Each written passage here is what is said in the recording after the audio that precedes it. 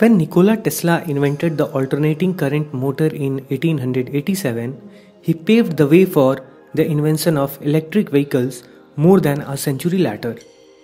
Electric vehicles could make gas and diesel powered vehicle absolute by year 2025, effectively ending the reign of internal combustion engine.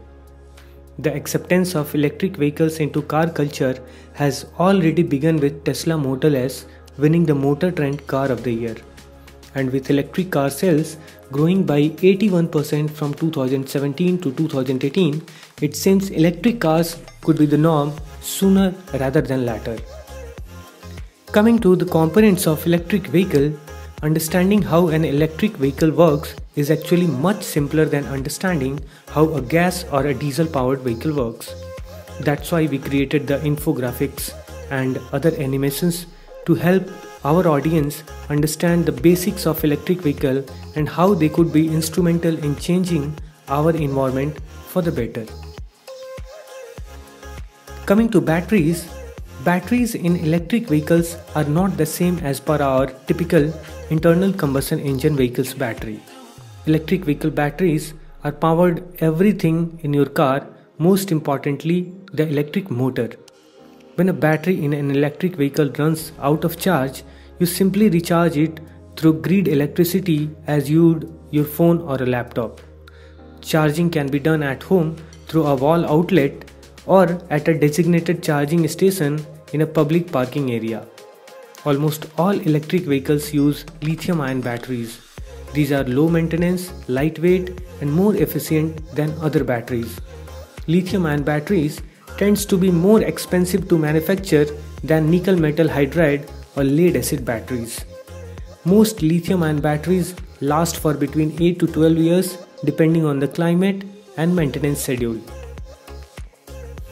Coming to the charging stations, the charging of an electric car, you just plug it into a charger and connect to an electric grid. Charging occurs through the car's electric vehicle service equipment which we also call as charging stations, there are three levels of charging stations which exist, each with its own charging speed and equipment. Level 1 is called home charging. Level 1 charging uses a 120 volt plug and a standard outlet. Level 1 charging requires no special equipment and is typically done at home. Level 1 chargers can take the longest time to charge your electric vehicles, averaging between 3 to 5 miles per hour of charge. Coming to level 2, which is called level 2 charging stations for home charging, these uses a 240 volt plug and typically need to be installed by an electrician. They can be used for either home or commercial charging. Many electric car automakers provide purchase options for level 2 charging stations at the time of vehicle purchase.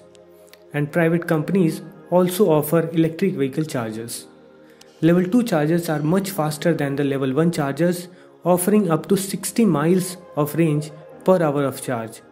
They are capable of fully charging an electric car batteries in about 2 hours. Then comes level 3 which is called as DC fast chargers. DC fast chargers are the charging stations you will see in parking lot around town. They can deliver up to 100 miles of power in about 20 minutes of charging. These highly specialized pieces of equipment are not compatible with all plug-in hybrid vehicles.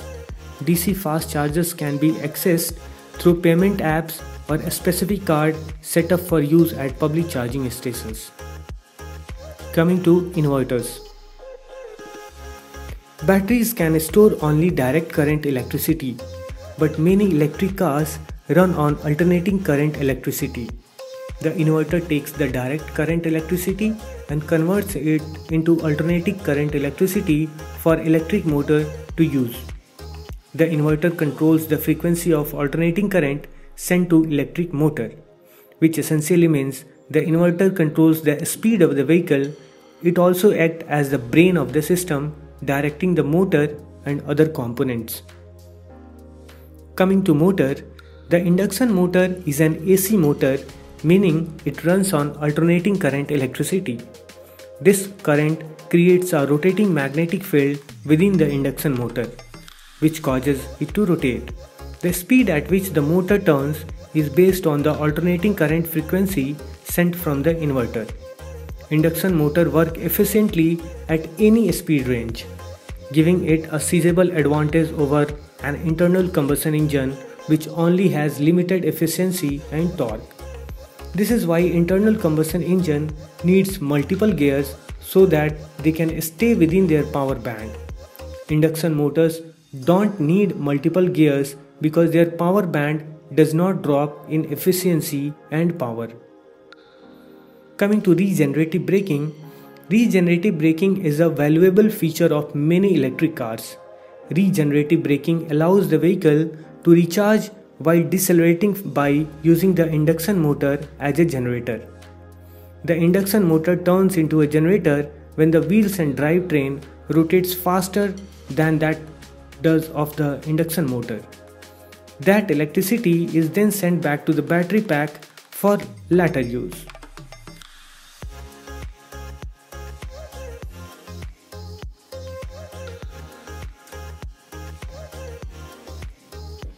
Electric vehicles are more efficient than standard gas and diesel powered engines in many ways.